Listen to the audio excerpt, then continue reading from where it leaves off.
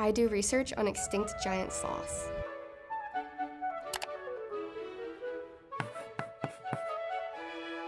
They got up to five tons, which is 5,000 kilograms, about 11,000 pounds, or the size of an elephant or a killer whale.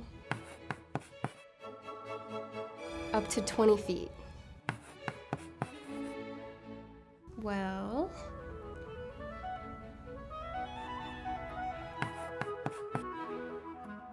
This is the upper arm bone, the humerus of the giant ground sloth, Eremotherium eomigrans.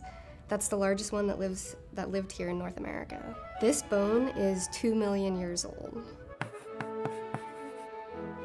I measured about 117 bones for this study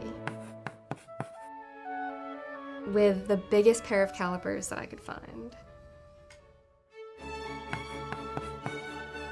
Around 7 million to 3 million years ago, we had aquatic or semi-aquatic sloths called Thalassocnus. They ended up having adaptations just like manatees, so the really dense ribs to kind of help with their buoyancy and moving through the water.